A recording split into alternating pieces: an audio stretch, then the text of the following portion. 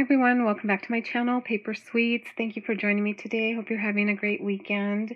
For today's video, I'll be sharing a mini album that I created for Fancy Pants Designs. And I did use the Bloom and Grow collection kit from Fancy Pants. So these are all of the pattern papers that come in the in this collection. So it's really cute. It's a garden theme, and um, like this page here has all the cute little gardening tools and plants and things. And this one here is so cute. It's got little seed packs, seed packets, and little bird houses. And it also comes with this ephemera here and some enamel dots that match the collection. So this is what I used for the mini album. And I also used this uh, We R Memory Keepers pocket punch board that I picked up recently at Tuesday morning. It was $12.99. And after using it, I think it's just really easy and um, I think the pockets are so cute and you can create like lots of different sizes. As you can see here for um, like mini albums and things. I like this sample they have here. So you can create two different types of pockets with this. One is like a, um, a notched pocket that's open up at the top with the notch cut out. And then the other one is more of um, like a policy envelope that closes up at the top. And like I said, you can make a couple different sizes. So this was really fun to use. And here's my little mini album. So I did use the seed packet uh, pattern paper because I just I thought this was the prettiest one in the collection. I just I love the colors and the design of the little seed packets. So um, that's what I used on the cover. And um, I also used a couple of other Coco and Reno die sets for this vellum piece here. It's hard to see, but I cut out a little vellum doily using the nesting doily set from Coco and Reno, and then I added some tulle, some splatter tulle on top of that, and then some of the ephemera, the little garden boots, hat, and the sticker that says timeless. And then in the ephemera pack, there was um, some of the little seed packets, um, so I used those and just popped them up on foam dots. And then here's some of the enamel dots. So then um, I just created this little like flap closure and I did make it smaller, like, um, well, not as big as the mini album cover.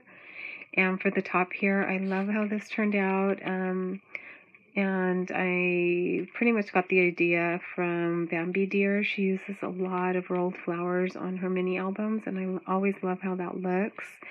So I made a couple of rolled flowers and added them to the top of this mini album. And I used another Coco and Reno die set, the rolled flowers die set, to make these. And then just tucked in some leaves here and there. And then the, these leaves are actually um, from another die that I used on the inside of the album. So these popped out of the leaves and they were perfect to kind of tuck in between the rolled flowers. So you, it just closes with Velcro and then it just opens up like this. So for this front um, flap, the inside of the um, of the cover, I made another little pocket and just tucked in some some tags. This is that the leaf die where I use the negative um, on the top of the mini album. So this is a die from Inlove Art Shops for this leaf, and then I added some of the ephemera. It says bloom, and then I love this little strawberry. I wish it came with more of these. So cute, and the little bees too. So I added those, some enamel dots there, and then just tucked these into the pocket. And so here's the first little page. Um, and like I said, I just uh, did the notched um, little pocket using the punch board. And this one here says, grow through what you go through. So I thought that was cute and just added more ephemera. And for each of the tags that go in the pockets, I added a little charm. This one has a little bee. And these tags are all just um, the same um, pattern paper, just uh, flipped around.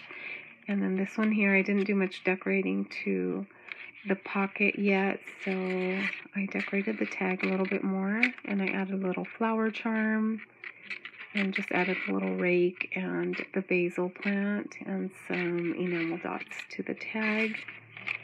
And this one here, since it was the wood grain paper, um, I really like how the little nest looks, like it would be tucked in a tree. And then I cut up another uh, one of the ephemera pieces into strips, and it's just the definition of a nest. And for this little tag, I added a leaf charm, and this is um just kind of temporary. It's from um, one of the trims, but I know that I have like a metal leaf charm somewhere in my stash, so I'm planning to switch that out once I find it.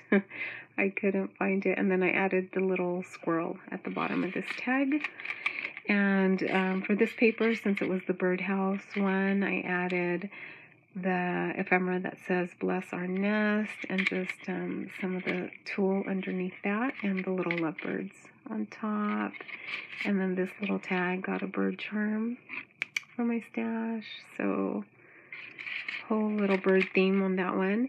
And then this one here is the last one and I just added the word grow with some tulle underneath and I decorated the tag a little bit more on this one too. I added the tree and then um, I wanted it to look like it was an apple tree kind of so I added the red um, enamel dots to that and a little mouse at the bottom and then I found a little apple charm in my in with my beads so I added a little apple charm to that tag.